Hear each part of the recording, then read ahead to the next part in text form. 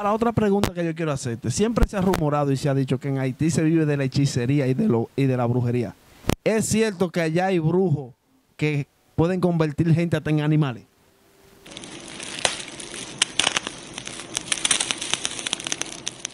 Bueno, mi gente, estamos en la hora de la verdad, donde no se miente y se dicen las cosas como son, con su hermanito Junior Papeleta. Y hoy tenemos aquí un cuempleblano que nos va a contar su historia de cómo fue la realización de él llegar aquí a nuestro país. ¿Cuál es su nombre, caballero? Mi nombre es Wilson Flow. Aquí tenemos con nosotros a Wilson Flow. Wilson Flow, ¿a qué edad tú incursionaste que quería venir para acá, para República Dominicana? Bueno, para llegar aquí, desde en el año cuando yo tenía 18 años. Ah, no, pues ya tú eres dominicano, tú sabes lo con plátano, un guineo y todo aquí. ¿Cuántos años de edad tú tienes ahora? Ahora tiene 37. 37. Enseña que si tú llegaste aquí a los 18 y tienes 37, tú tienes como 17 años aquí ya. Exactamente. En esos 17 años que tú tienes aquí, ¿tú alguna vez te has topado con la gente de migración? Tú sabes que son palomos, a veces ven, súbete que te voy a llevar. Ahora mismo que están jodiendo mucho con eso.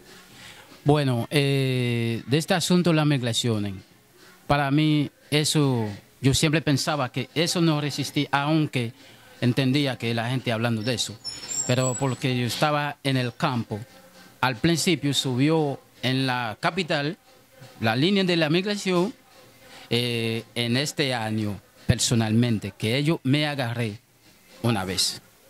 Cuando fui al trabajo, como iba al trabajo, entonces me monté en una guagua. Y de ahí, cuando eh, yo iba en un trabajo, era un maestro mío. Entonces, en la noche hizo un sueño y ve que eh, una cuanta gente, eh, policía, eh, que se. con capucha negra, que me está cayendo atrás, yo digo, bueno, me levanté por la mañana y digo, bueno, que yo no voy al trabajo. De ahí y llama al maestro, porque yo le dije al maestro que no tengo pasaje para ir al trabajo, porque lo estoy ocultando, que no quería ir porque por el sueño. Entonces de ahí que... Enseña que Dios te reveló en un sueño que tú ibas a ser apresado por la inmigración. Exactamente. Ok, otra pregunta, Morenay. Más o menos, ¿cuánto hay que invertir para cruzar de la frontera de Haití para acá, para República Dominicana? Un, un estimado, como cuánto se gasta para uno poder llegar aquí. pero y con 8 mil pesos, eh, en ese tiempo, 8 mil pesos, pero en GU, eso se, eso se era mucho. Me dice, dame 8 mil pesos, entonces ya, y te voy a traer para acá.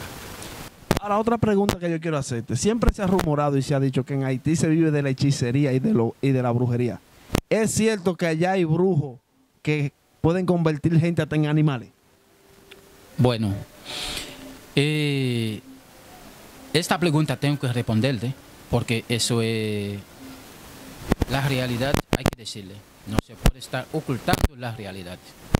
Y, por ejemplo, la persona que cree en algo mal, que tiene algo mal siempre en la cabeza, entonces ese algo mal que tú tienes, eso se convierte como sus hijos y madre y su padre.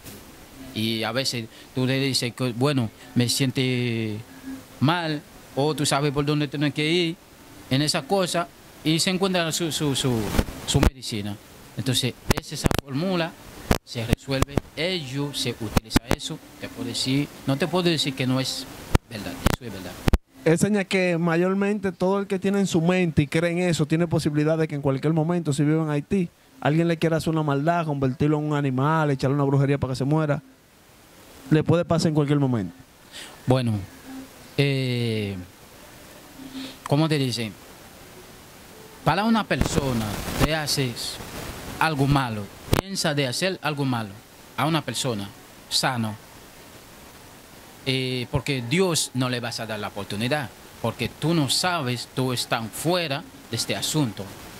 De, tan fácil no te puede suceder algo, aunque esa persona se está siguiendo, siguiendo, siguiendo. Para tener algo, será mejor que esa persona que se está apoyando, que se fracasa con ese pollón que haciendo. Ok, ya cambiando el tema, ya que veo que tú me has contestado todo con tanta sinceridad y tanta verdad. Yo te veo un flow como a ti, como de artista, te veo con tu cadenita y tu cosa, como que Morena, ya para terminar la entrevista, la que ya cual me siento muy alegre y contento que tú me la hayas dado, ya que veo que me hablaste con toda la sinceridad del mundo, cómo pasaste la, la, frontera, cuál fue tu travesía, me contaste que terminaste con una mujer por un concón y todo eso, te noto muy sincero, dijiste realmente lo que vale la pinta, que son como 8 mil y pico pesos, tenés por ahí que anda el precio. Tú hasta ahora demostraste una persona sincera.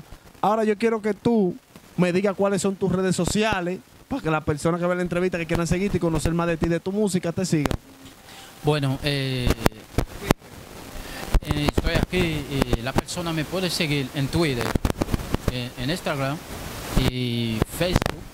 Eh, ¿Cómo te YouTube. También solamente la persona que quiere seguirme, que se va a centrar y lo escriben Wilson Flow. Ya ustedes saben, mi gente, sigan en todas las redes sociales, tanto en Facebook como en Instagram y en YouTube, a Wilson Flow. Ahora, para despedir, Morena, de esta entrevista, yo quiero que tú le mandes un mensaje a todas esas personas de los organismos internacionales que piensan que los dominicanos son racistas, ¿qué tú le dirías? Bueno, es como te digo ahorita, que no podemos decir otra cosa si no decimos antes que era bueno. Entonces tenemos que decirte a toda la persona, el que se meta para sobrevivir bien, no te meten en cosas gente, la palabra, el asunto que no es tuyo, no te meten, entonces ahí no te vas a ver, la persona te sale para que te dicen los dominicanos es malo, los dominicanos, porque también se puede decir, hay muchos dominicanos. Hay malo y bueno. Hay malo y bueno. Entonces, a lo que tú te guías camino, entonces nadie te mete contigo, te relajes con, con todo el mundo, es el único bueno. Pero para evitar problemas, sus caminos, como se dice, las cosas difíciles, que sabe que puede traer problemas, hay que invitarlo. Ok, mi gente, esto fue la entrevista en la hora de la verdad con su hermanito Junior Papelete.